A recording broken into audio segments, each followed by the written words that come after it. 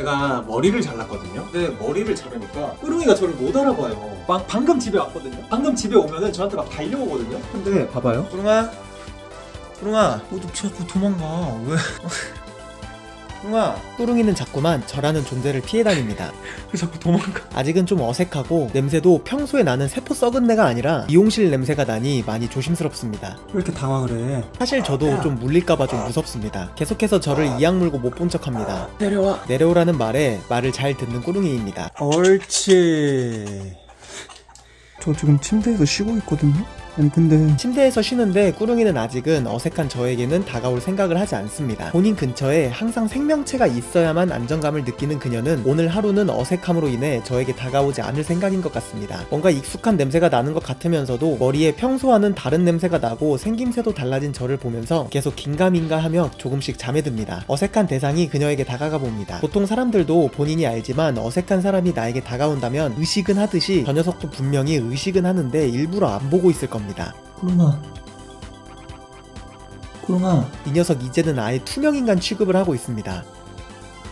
아빠 맞아 꾸릉아 보통 어색한 사이여도 이름은 부르면. 쳐다라도 봐주는데 이 녀석은 오늘 그럴 행동을 할 기분이 아닌 것 같습니다. 아빠 맞아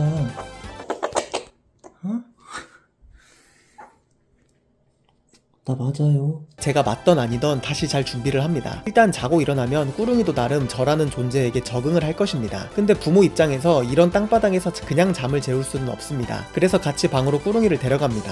들어가자 들어가자 같이 와 같이 와 같이 와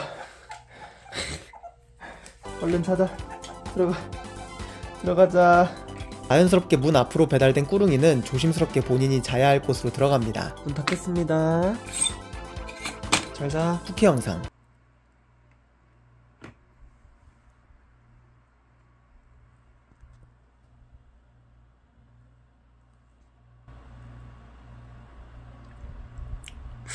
이 정도면 죽었는데? 너 죽었지? 목 안 아파?